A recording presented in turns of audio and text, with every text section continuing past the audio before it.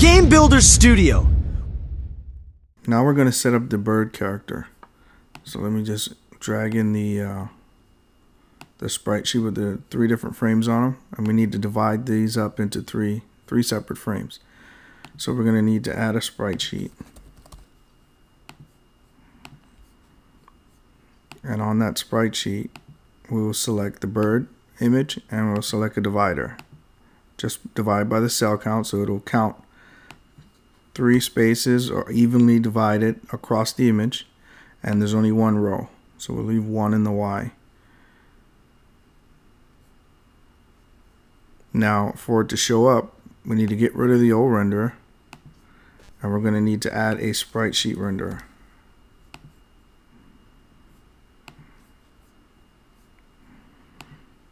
Now if I select the sprite sheet, it should show up in the scene and we can scrub through the animation. There we go.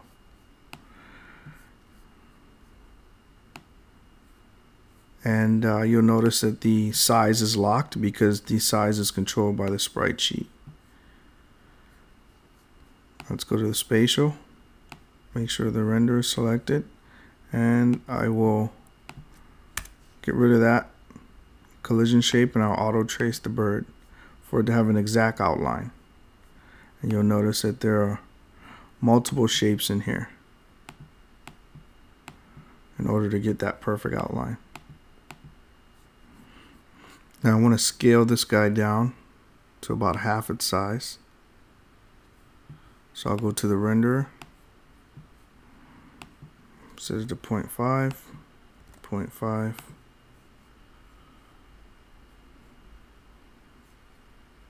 and I'll go back to the spatial and let me set up some of the collision information. If I select the shape, every time you select the shape, the settings here change. So if you have multiple shapes like this auto trace shape and you change the setting, it's good to hit the apply to all shapes. Just a side note. I'm going to set this guy, this object type to bird and it collides with the ground and with the pipe. We want it to be simulated because we want this guy to be affected by gravity. And I'm going to uncheck can rotate because we're going to manually control the rotation based on um, a, a defined angle as the bird is propelled up in the air and as it falls. We want it to be perfectly at a 90 degree angle as it falls. And if we just use physics to control the rotation, it'll it will be more of a simulation as opposed to an exact rotation. We need something to cycle through the frames of the animation. So we're going to add a sprite sheet controller that manages doing that at a certain frame rate.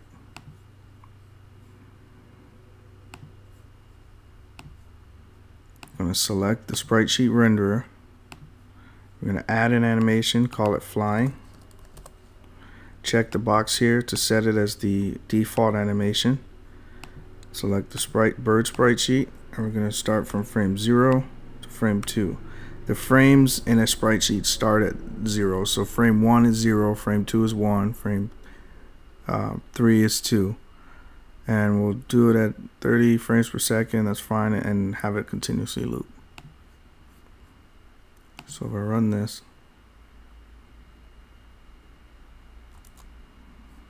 Alright, got the animation and we have the bird flying. Now, the bird is dropping because of gravity, but we're going to control gravity later on. And I'll show you how to do that. Initially, when the when the game starts, the bird is just floating in the air, and then uh, when you tap, the game starts. So I'm going to add a logic component or a rules component.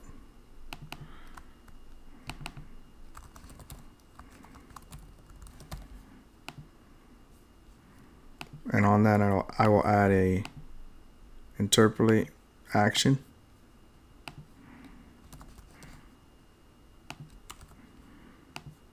And we're going to animate along the y-axis.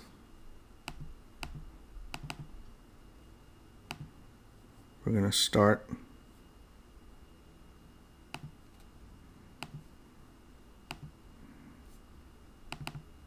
at its current y position And you'll notice it uses a relative reference.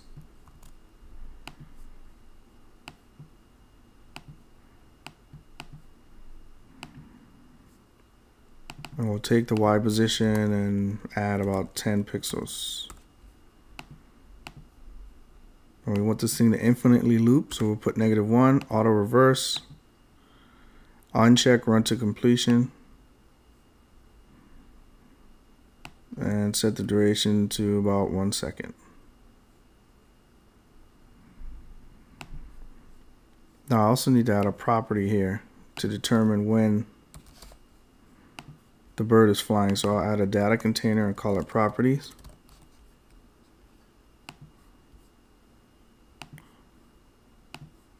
Add a property called is flying. Set it to zero. Because I only want this to play when that property is set to zero.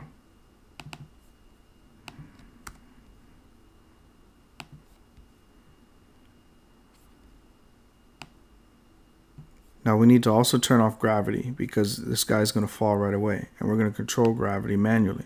So I'm going to set this to zero. There is no change gravity action at the moment, but I'll show you how to just change the, the global property using an expression.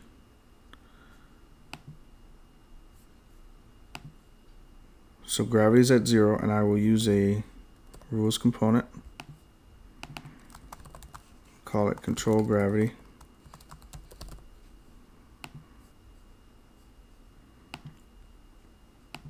we're going to check the gravity property. Every spatial component has a spatial manager on it, and this is the global manager for all collisions and all spatials in the game. And there's a property on it called gravity, and that is a point object. So I'll put dot y, gravity dot y. When that is zero, and the user touches their mouse down on the screen anywhere, we want to turn on gravity. So we're going to change that same property. I'll just copy and paste it. This is a property reference. This time we're going to change the actual gravity point object. So we'll get rid of the dot y.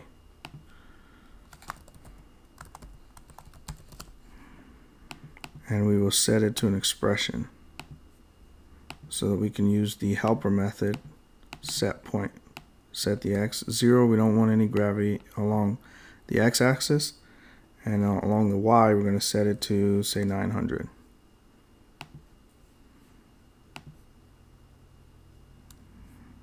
let me go back to the float the interpolate action. I actually want to do 20 pixels and make sure I add some easing sine easing out. Let's run that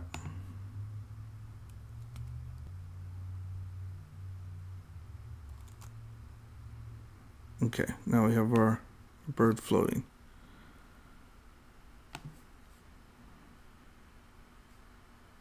Now I'm going to add the logic for when you tap the screen. We want to accelerate the bird the bird's velocity. So when the mouse is down anywhere we need, we need to turn on the is flying flag. Is flying set it to 1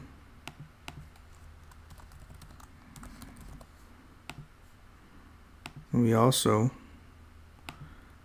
need to apply some velocity.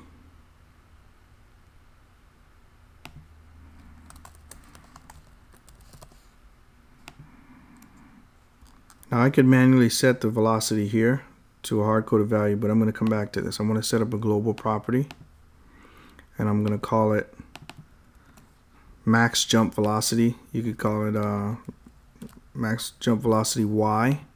We're going to set it to negative 800 because you got to remember gravity is going to be turned on when I tap the screen to 900 in the Y, and the Y-axis is flipped in GameBuilder Studio. So if I apply 900 velocity, the bird in, in the global gravity, the bird will be pushed down. Now, when we apply a jolt or or a uh, velocity increase to the bird to move it up the screen, we have to move it in the negative value. So I give it a negative 800 value to push it up the screen. I'll go back to this apply velocity, go to the spatial's linear velocity. I'm going to set the velocity point object to an expression. We're going to use the set point helper method. It's going to be 0 in the x. And we're going to use a helper method called clamp to range because we want the velocity to always be within a certain range. So we're going to feed in the current y va value of the, or is it, the spatial linear velocity y. That is what the current value is, and we're going to make sure that it always is a minimum of negative 800, which is the which is the max, because you got to remember, zero is greater than a negative value. So because we're working at negative values to push something up the screen, the minimum is that max velocity property. So we're going to go to that minimum, negative 800, and we want the max to be half of that. So divide that by 2. And this method will keep that linear velocity value. No matter how much velocity we add, it will always keep it constrained within that range. Save that. Let's run that. Okay, now the bird is floating. If I tap, he, he jumps up the screen. As and if I continuously tap, he won't just fly way off the screen. It'll be an incremental jump.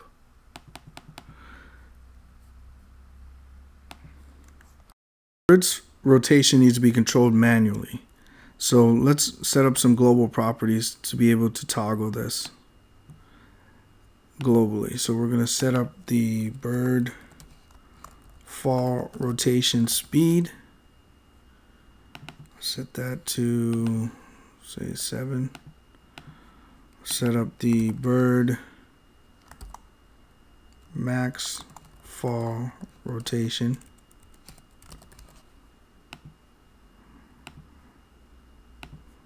We'll also set up the bird max jump rotation. And these are the amount of rotation in degrees that we want to allow the bird to rotate. It'll be negative 40 when it's jumping because you got to remember degrees it's, it's at zero zero now if you want it to rotate up the screen you can go in the negative value so negative 40 degrees would be here, negative 90 would be pointing directly up. Regular 90 uh, will be pointing down. So negative 40 is what we want when it jumps. We want the nose to point up. The max fall rotation we want it to be 90 degrees, completely vertical when it's when it's pointed uh, pointed down, and the fall rotation speed should be seven. and the bird jump rotation speed. Let's just set that to one.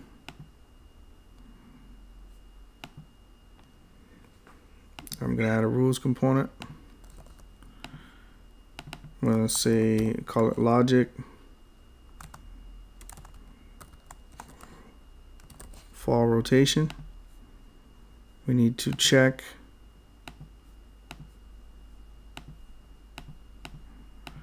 that the bird is flying currently. So if flying is 1, then we'll do the rotation. And if the linear velocity of the bird's spatial along the y-axis, if it is greater than or equal to 0, so that means it's falling down the screen. As the bird falls, the linear velocity in the y-axis is going to be increased in order for it to move down the screen. So it's going to have to be above zero, and that's how you know it's falling. We're going to use a constraint property.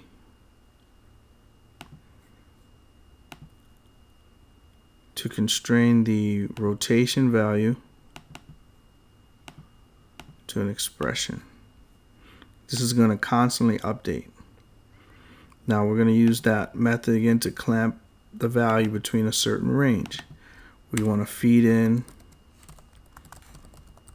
the rotation value to a to those global properties that we set.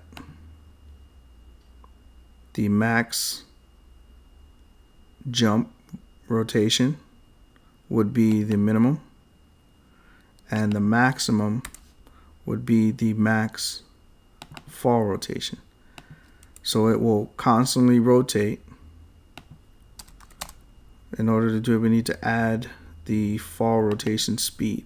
So it's going to continuously add this value, which is 7, to the rotation. And it's going to feed it into this method here that will keep it between negative 40 and 90 degrees.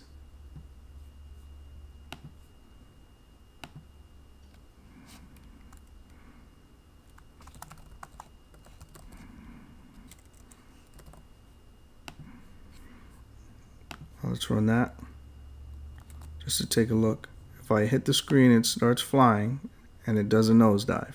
And if we were to just simulate this, the rotation would just be simulated and would be an exact value. So we're manually doing that. Now as we hit the screen to, to move it up, we add velocity to it. We want it to rotate back up to negative 40 degrees.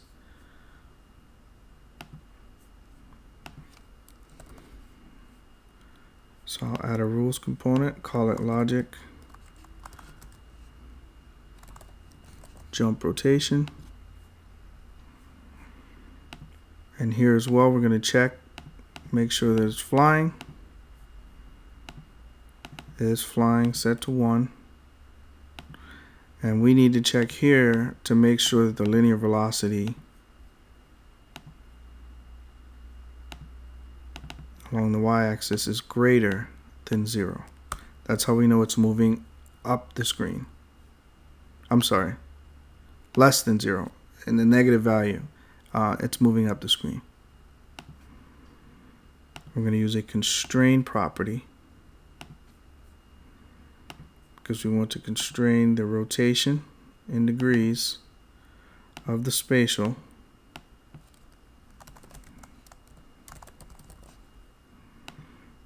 to an expression. And we're going to use the clamp to range value again.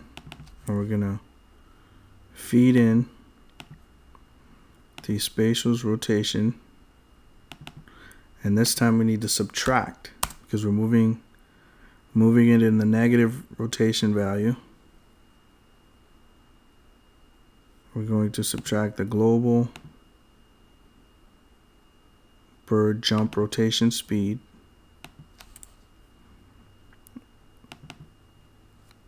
we're going to give it that minimum of the max jump rotation because the max jump is a negative value, so it's minimum. It's going to be less than, than this max fall rotation, so we're going to set that to the max so that it always stays within those two degrees.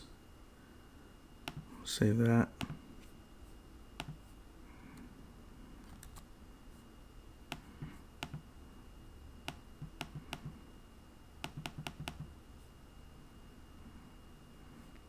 Now it's rotating too much, so I'm not going to use the bird max fall rotation. I'm going to set that to zero. The max to zero. So I want it to, when it's jumping, to always be between zero degrees and negative of the max jump rotation.